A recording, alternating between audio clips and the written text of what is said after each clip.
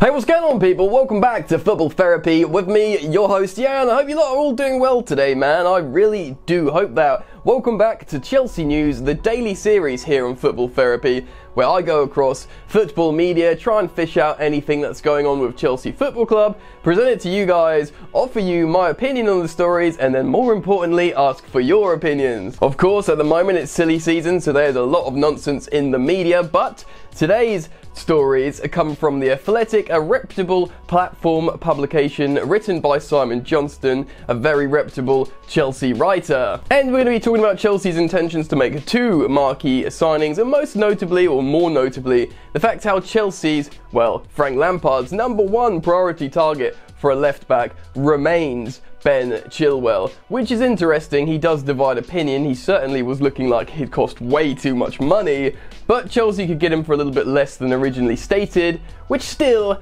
is probably quite a lot. And although the player himself was in rather stinky form before football paused, he is England's first choice left back, and while in form, he was probably top three left backs in the Premier League. So, we're going to talk about that and how he could work with this Chelsea team and indeed the long term Chelsea project because the dude is still a very young player. Ultimately, it could be a good purchase and a good idea. Also, apart from stating other high profile targets that Johnson speaks about in the piece, I do want to talk about Timo Werner, as the club are pretty much accepting that a transfer is inevitable. Lots to talk about today, guys, so if you do want daily updates on Chelsea Football Club, please do consider subscribing to Football Therapy if you've not yet done so. Hey, only if you want to, but I upload daily so it gives you a good opportunity to keep up if you click the bell notifications icon. And if you want to do me a favor, please do drop a like on this video. Alright, let's get on with it. You know what? Let's start off with Timo Werner. The Germanic marksman scores loads and loads of goals, generally runs on the shoulder, runs in behind,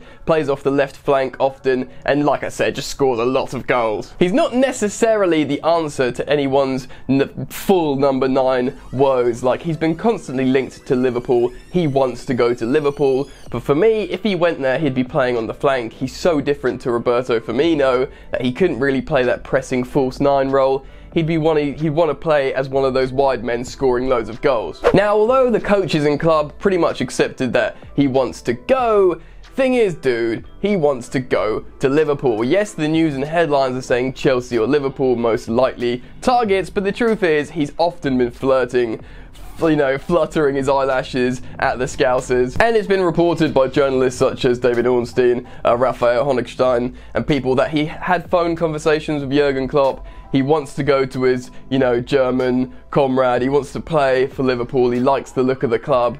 And pretty much, I think he appreciates the interest from other big clubs, such as Chelsea Football Club, even, I feel like if he came to Chelsea, it would be sort of semi against his will. These articles saying that a transfer is inevitable, I don't know if it's specifically this summer, but a transfer is inevitable. But if they mean this summer, that would come like as a bit of a shock to me because the way his contract works is every year his buyout clause drops to a certain amount. So if Liverpool aren't willing to pay the full 50 million buyout clause, which is hella cheap anyway, mental to me, then it goes down to 30 million next summer. Maybe Liverpool would hold out for that. He just plays for one more year in Germany, still relatively young. That's what I assumed would happen. But if he remains a target for Chelsea, who knows, maybe they can convince him and maybe he can have a change of heart. But of course, I'll keep you updated on any sort of movement on these stories, just make sure you stay tuned into football therapy. Right, so let's talk about Ben Chilwell a little bit more, but let's start the story with Simon Johnson's uh, story on The Athletic because he says a lot of information in this article. I do urge you guys to go check out The Athletic, it's very interesting. And with writers like Simon, Liam Twomey, uh, Dominic Fifield, you get excellent content. So in this article, Simon talks about Chelsea's intention to have a still relatively big rebuild even though there's a pandemic going on.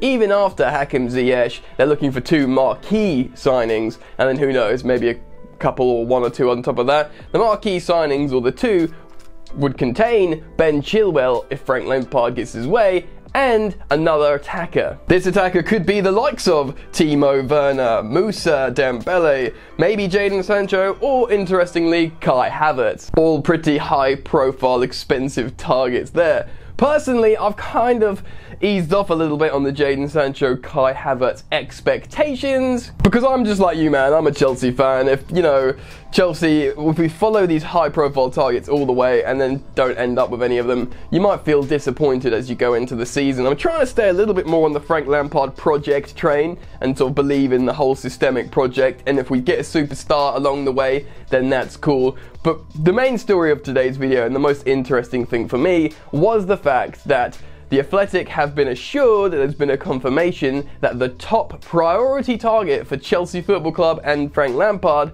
is Ben Chilwell. Now, it's easy to have reservations about this. First off, we all assumed, or I think it was reported in certain publications, that he might cost around 85 million pounds, the same as Harry Maguire. Personally, I think he should be worth more than Harry Maguire, because he's more of an attacking forward player. I know centre halves are, you know, rare. goods centre halves are rare at the moment. But still, it was going to cost a lot of money. He starts for England, he's the starting left back. Like I said at the top of the video, at the beginning of the season, he was performing. His metrics were excellent, top three left backs in England.